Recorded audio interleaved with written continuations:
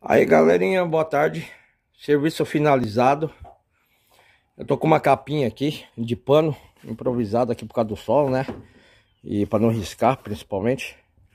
Eu tô com 400ml 380 por aí de gasolina e óleo dois tempos.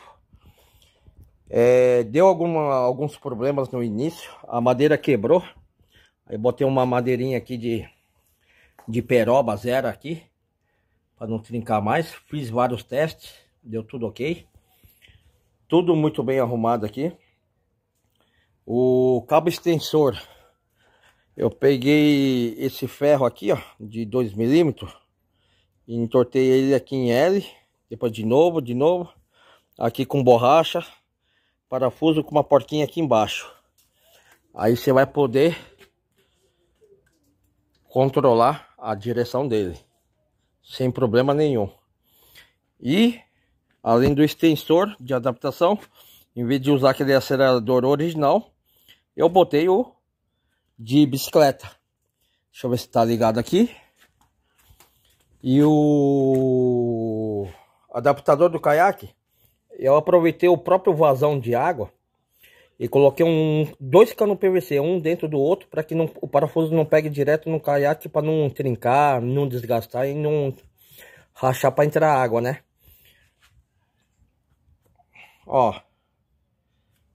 A francesinha, né? Pra não entortar. Ficou certinho aqui. Os pregadores aqui do, do motor. Cabo acelerador, o cabo do afogador. E eu fiz um extensor aqui. Para ligar o caiaque. Eu vou mostrar para vocês esse extensor. Por que, que eu fiz esse extensor tão longe ali, ó? Porque o caiaque não é igual o barco que você fica lá atrás e dá corda. Daqui eu vou estar sentado no barco eu posso passar por cima da minha cabeça ou puxar pelo lado do meu corpo, que vai me facilitar bastante.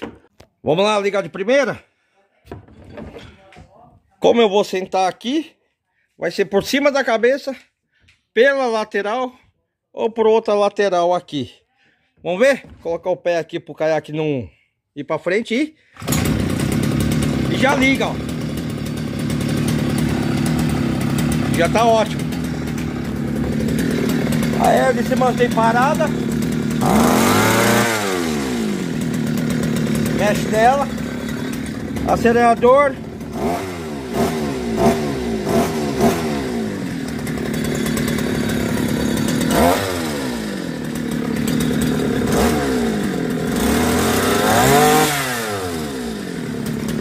Como ele está um pouco afastado, o certo era deixar mais aqui, né? Eu vou colocar mais pra frente, eu vou, eu vou colocar a madeira daqui pra cá. Só que eu quero fazer um teste aqui primeiro pra ver se o caiaque anda empinado, entendeu? Tamo junto, gente. Valeu, brigadão.